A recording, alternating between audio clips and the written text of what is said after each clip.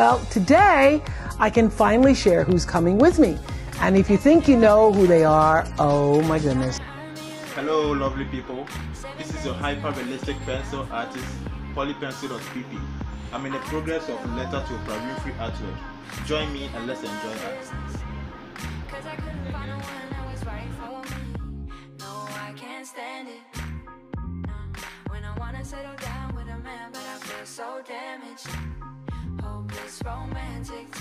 Savage, but I know I can't stay and chill.